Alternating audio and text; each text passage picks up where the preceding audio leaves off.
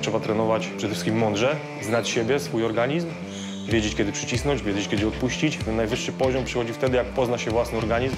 To, że to jest sport indywidualny, no to ja jestem sam tylko w oktagonie, ale do tego momentu no to jest kupa ludzi. Właśnie tak jak moja narzeczona, która zarazem jest moją menadżerką. Kocham ten sport. MMA jest u nas w rodzinie od dawien dawna. To jest część mojego życia, dlatego ja sobie też nie wyobrażam, jakbyśmy mieli robić w ogóle coś innego. Janek chce osiągać jak największe sukcesy i pędzi nie do Superligi, tylko do Ekstraligi. Najważniejsza walka w życiu Jana i ogrom obowiązków. Ja na to bardzo długo też pracowałam razem z Jankiem. Pierwszy Polak, który będzie walczył o pas największych organizacji Federacji MMA UFC. Kilku Polaków już jest, było i mam nadzieję, że zawsze będzie. No ale tak, ja jestem tym pierwszym, który, który spróbuje sięgnąć po ten najwyższy laur. Wiem, jaka jest stawka tego, tego pojedynku, ale staram się podchodzić do tego jak do każdej walki. Janek był dzieckiem bardzo upartym, który stawia zawsze na swoim. W pewnym momencie y, przychodzi Wojtek do nas i mówi, że Jasiu go pobił. My zaskoczeni tak, że jak go mógł pobić, jak on w ogóle jeszcze nie chodził. Zawsze stawał w obronie brata później. Uciekł z przedszkola z kolegami przez dziurę w płocie. Wybierali się do Ameryki. Ja się przestraszyłam, że rzeczywiście wsiądą do pociągu i taki strach mnie obleciał. No na szczęście się znaleźli.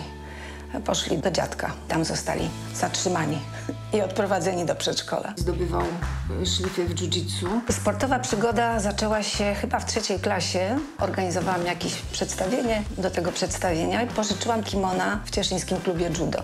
Po tym przedstawieniu trzeba było odnieść kimona, Jasiek szedł ze mną. Jak zobaczyłem, co się dzieje na sali, no to zapytałem, czy mogę przyjść, no i no, się zgodziła i tak się zaczęło. Trochę ćwiczył to judo, ale znudziło mu się. No jak to każdy młody chłopak, no myśmy mieli taką ekipę, że rywalizowaliśmy ze sobą i także jak nie było tygodnia bez bójki, to taki dziwny tydzień był. Jak była pogoda, to za kościołem, jak nie było pogody, no to w szatni. No a później problemy i tak dalej. Znaczy problemy, no u dyrektorki. Na pytanie no to, co byś ty chciał w życiu robić, bo była kwestia wyboru szkoły, walczyć w klatce. No to ja, ja mogłam to potraktować poważnie. Taki moment przełomowy to był jak wygrałem pierwsze zawody w jiu-jitsu. Pierwszy raz wygrałem, zdobyłem złoty medal. Nie, wojsko nie. Będę sportowcem. No tam najpierw jakieś śmieszne pieniądze, trzeba było do tego dokładać, ale na pewno będzie dobrze. Da się, da się, da się. Wierzę w to, że będzie dobrze i no i jest.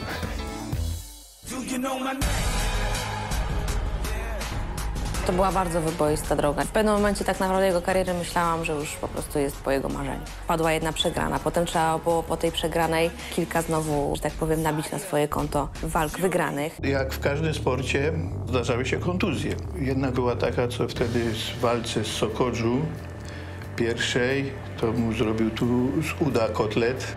Dano nam szansę. Chyba się nie spotkałam w ogóle z czymś takim wcześniej, że w trakcie rekonwalescencji został w ogóle zakontraktowany z największą organizacją MMA na świecie. Ja walczyłem w oktagonie, ona walczyła politycznie. To, że ja się utrzymałem, że zostałem w tej grze, za to jej trzeba podziękować. No plus cały team, trenerzy, plus sparring partnerzy, no bo bez nich to ja tak naprawdę mógłbym zostać mistrzem, nie wiem, walki z cieniem co najwyżej, a, a, a nie dojść e, do tej walki o, o właśnie o pas. Żadna sodowa do głowy, żadne e, celebryckie zachowania. To jest facet, który konsekwentnie od początku kariery wie, dokąd zmierzał. Cieszyński książę.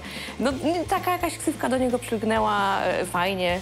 E, skoro on jest księciem, to ja może będę księżną.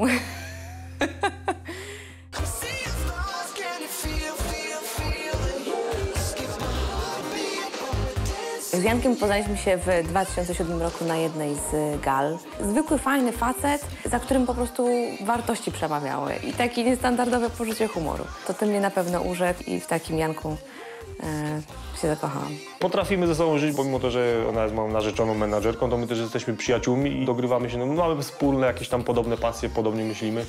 No jest nam ze sobą dobrze na normalnym świecie, więc się sobą nie męczymy. No teraz jest bardzo ciężko mi się w ogóle samej skupić na stanie, w którym jestem. Projekt Syny niestety spadł na dalszy plan. Tak, najpierw walka, no i po walce czekamy na grudzień. I szczerze mówiąc, bardziej się obawiam tego grudnia, bo walk, walk miałem już wiele. Tu będzie coś nowego, z czym się zderzę. Jestem tak samo przerażony jak szczęśliwy, ale też nie mogę się już doczekać tego momentu. Fajnie.